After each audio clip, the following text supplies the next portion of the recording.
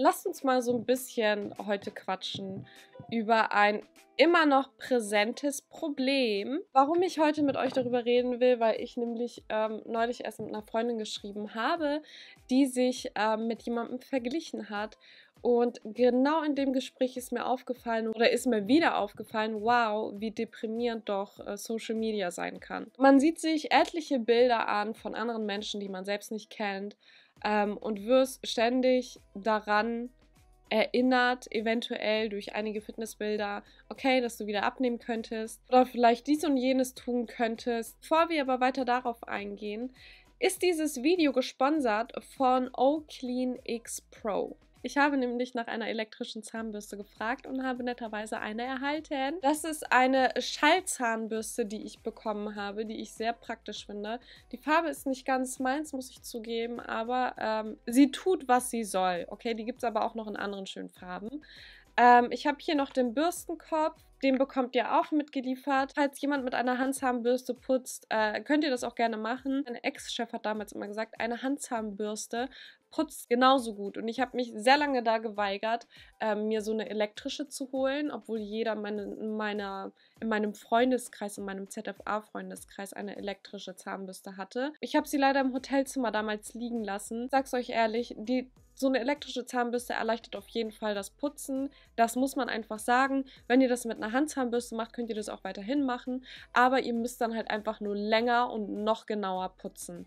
Und ich habe jetzt wieder eine elektrische und bin wirklich sehr, sehr zufrieden. O Clean X Pro ist eine Schallzahnbürste mit Touchscreen und Bildzonenerkennung. Es gibt hierzu sogar eine App, die ihr auf eurem Handy runterladen könnt und da könnt ihr euch individuelle Reinigungspläne erstellen, was auch sehr, sehr praktisch ist. Die Schallzahnbürste könnt ihr auch in mehreren Stufen einstellen, wie ich euch gerade am Anfang gesagt habe. Sie hat nämlich auch eine gute Reinigungsleistung und reinigt wirklich super sanft die Zähne. Und übrigens stammt der Bürstenkopf von Duopont. Diese Marke bietet nämlich auch Bürstenköpfe für, für zum Beispiel Oral-B und Philips Zahnbürsten an, wie ich gelesen habe, weil die halt günstiger sind als die originalen Philips und Oral ORB Bürstenköpfe. Ich werde euch natürlich noch einen Link in die Infobox setzen, das könnt ihr euch gerne anschauen. Zahnbürste ist auch ehrlich gesagt sehr günstig. Normalerweise zahlst du ja so um die 200.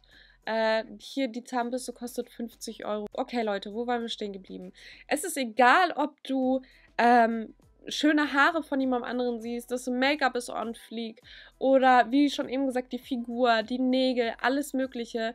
Dieses ständige Konsumieren führt letzten Endes dazu, dass du irgendwann anfängst, dich selbst zu hinterfragen. Wisst ihr, an der Stelle fällt mir auch ein, dass halt viele auch dazu sagen, dass diese Plattform fake ist.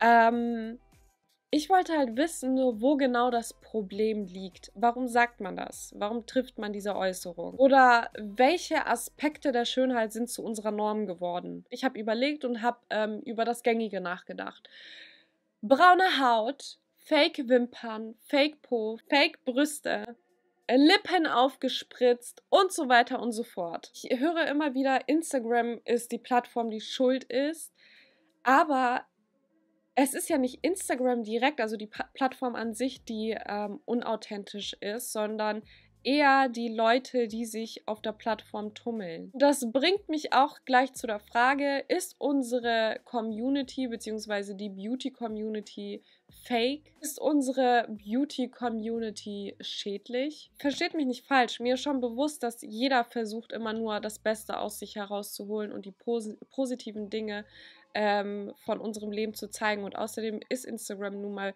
so eine Plattform, die halt sehr oberflächlich ist. Es ist jetzt nicht so wie ein YouTube-Video da, wo man den Menschen ein kleines bisschen besser kennenlernt, ähm, weil man hier auch mehr Zeit hat. Meistens beschränken sich die Videos auf Instagram so auf eine Minute, dann gibt es halt noch Reels auf 30 Sekunden höchstens, wobei IGTV wäre eine Möglichkeit mit 15 Minuten. Aber ansonsten ist Instagram dadurch bekannt geworden, dass es war halt eine Bild Bearbeitungs-App ursprünglich, wo du halt ein paar Filter benutzen konntest. In den letzten zwei Jahren ist mir dazu auch aufgefallen, dass der Trend immer mehr zu Body Positivity geht.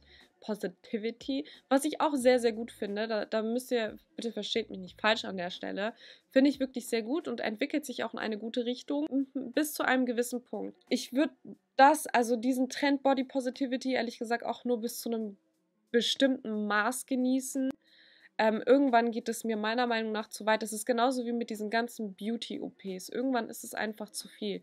Wie ich schon immer gesagt habe, ich verteufel das nicht komplett. Ich sehe es nicht nur schwarz und weiß aber irgendwann ist einfach zu viel. Was ich persönlich gut finde, dass Mädels sich auf jeden Fall mehr mit Zellulite zeigen, mit Schwangerschaftsstreifen, mit Krampfadern, mit ähm, einfach so natürlich, wie man halt ist. Ich meine, es ist einfach normal. Genauso gut kann es aber auch normal sein, überhaupt keine Dehnungsstreifen zu haben oder überhaupt keine Zellulite.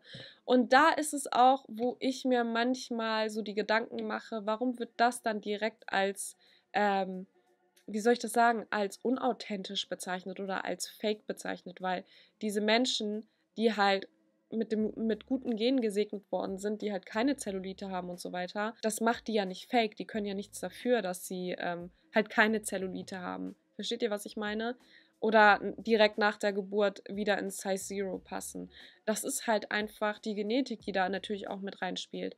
Äh, das lese ich halt auch ganz oft. Ja, das ist voll unrealistisch, direkt nach der Geburt wieder in die alte Jeans reinzupassen. Es gibt halt Frauen, die sind einfach so. So, ich habe auch nicht direkt reingepasst, aber es das heißt nicht, dass ich dann deswegen andere schäme, weil sie halt in unseren Köpfen, in, der, in den Köpfen der Gesellschaft das perfekte Bild abgeben, weil bei denen alles so problemlos klappt. Die Sache ist, Leute, obwohl diese ganzen Sachen natürlich sind, äh, Schwangerschaftsstreifen und so weiter und so fort, ähm, dass wir gelernt haben, Bilder abzuladen, die gefiltert sind, die, wo du eine Retusche eingelegt hast, wo du vielleicht deine Nase kleiner gemacht hast, wo du deine Augen noch größer gemacht hast, Lippen noch größer gemacht und so weiter und so fort. Ganz nach dem Motto, du siehst auf dem Bild nicht so aus, wie du es gerne hättest, kein Problem.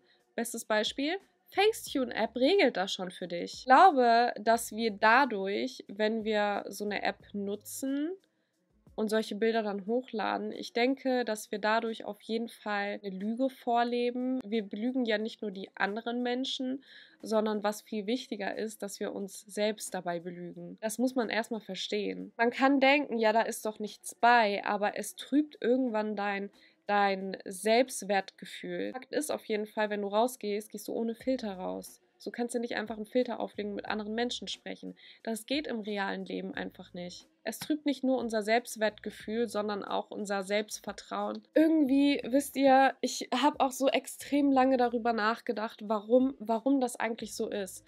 Wer definiert in, in unserer Gesellschaft Schönheit oder in unseren Augen Schönheit? Es ist meistens immer das Gleiche. Früher waren, waren es ja auf jeden Fall ganz groß die Stars. Mittlerweile geht eher die Tendenz zu ähm, den Influencern. Influencer geben Trends vor, Influencer, wobei auch vereinzelt immer noch Stars, aber Influencer sind irgendwie der Shit. Influencer dürfen Schönheit definieren. Oder auch Stars dürfen Schönheit definieren. Und Normalos anscheinend nicht. Warum ist das so, Leute? Mir ist aufgefallen, dass erstens, wenn Leute in der Öffentlichkeit stehen, dass sie enorm unter Beschuss stehen. Das heißt, wenn jetzt zum Beispiel so jemand wie ich, was ich voll oft höre, ja, warum sind deine Augen nicht gleich groß oder warum sind deine Augenbrauen nicht auf einer Höhe oder sehen nicht gleich aus und bla. Man steht ständig unter Beschuss und kriegt ständig von Leuten irgendwie was gesagt was dem einen oder anderen eventuell minder, bei, bei dem einen oder anderen eventuell Minderwertigkeitskomplexe hervorrufen kann. Ähm, das führt wiederum dazu, dass sich diese Leute diversen OPs unterziehen, weil sie natürlich diese Makel, die sie halt ständig vielleicht zu hören bekommen, beseitigt haben wollen oder auch unter anderem, weil es sie selbst stört und dadurch, dass andere das sagen, fühlt man sich dann nur noch bestätigt. Und dann äh, versucht man das halt einfach zu beseitigen, um von der Gesellschaft akzeptiert zu werden. Das wiederum setzt aber auch Normalos unter Druck, genauso aussehen zu müssen, immer top gestylt sein zu müssen. Jetzt zum Beispiel nach der Geburt am besten, gleich nach der Geburt am besten immer top gestylt ähm, rumzulaufen, rumzuhüpfen, direkt top Form zu sein. Jetzt kommen wir zu der ganz großen Frage, warum wird es als Fake definiert, wenn äh, Influencer sich jetzt zum Beispiel total viele Filler ins Gesicht setzen lassen, Lippen aufspritzen lassen und so weiter und so fort. Meiner Meinung nach ist es, Leute, also wieder einmal sage ich, es ist für mich ein Unterschied, wenn du äh, eine Beauty-OP gemacht hast, ja, aber immer noch wie du selbst aussiehst. Du kannst dir jetzt zum Beispiel eine Sache verschönert haben an deinem Körper, ja, ähm, aber dieses jeder versucht auf Instagram wirklich zu aussehen, so zu aussehen wie der andere. Niemand hebt sich mehr von dem anderen ab. Wenn ihr euch mal die Gesichtszüge von Influencern anguckt, die sehen mittlerweile alle gleich aus.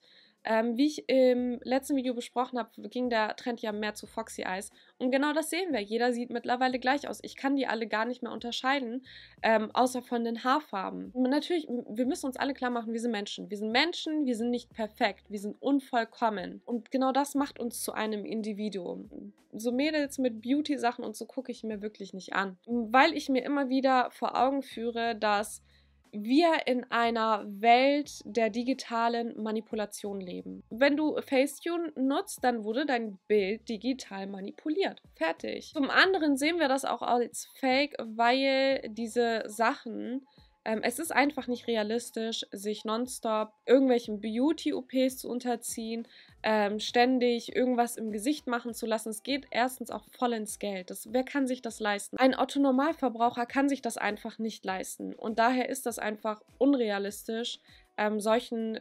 Beauty-Standards zu entsprechen. Und das lässt uns ständig zu der Frage kommen, warum sehe ich nicht so aus?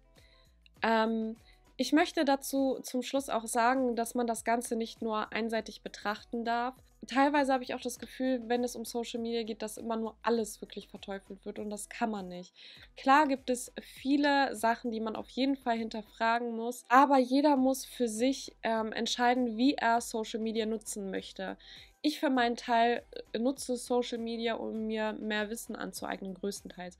Ich gucke mir auch viel Scheiße an, also viel Scheiße mit einfach lustige Videos, worüber du lachen kannst. Ja, Leute, ähm, ich überlege gerade, ob ich was vergessen habe. Ich glaube, das Letzte, was ich sagen kann, ist, ähm, dass man sich halt immer wieder vor Augen führen muss, dass auch Influencer ganz normale Menschen sind, auch wenn sie halt immer das Perfekte von sich ähm, öffentlich zu zeigen. Einfach auch, damit sie nicht so eine große Angriffsfläche geben. Zum anderen müssen wir auch irgendwie von diesem perfekten Erscheinungsbild loslassen. Das ist keiner. Das ist keiner. Und ich wünschte einfach so sehr, dass ich diese Erkenntnis auch schon 2016 gehabt hätte. Das ist, das ist das Schöne, wenn du älter wirst. Wenn du älter wirst, ich sag euch, da lernt man sich zu akzeptieren, wie man ist. Es ist für mich ein großer Unterschied, wenn du Make-up auflegst oder wenn du dein ganzes Gesicht mit, voll mit Fillern machst in so einem jungen Alter. Ähm, heißt nicht, dass ich auch Filler oder Botox oder was auch immer verteufel. Wenn du älter bist, sehe ich da eher die Notwendigkeit, es zu tun, wenn du jetzt eine Falte hast. Es ist halt einfach eine persönliche Entscheidung, die halt jeder für sich selber treffen muss. Und ich sag euch ehrlich, in der heutigen Zeit tun mir einfach nur Mädels leid, die jung sind und mit solchen Sachen ständig konfrontiert werden. Gerade weil ich halt weiß, wie ich noch im jüngeren Alter war, bis zu meinem 21. Lebensjahr.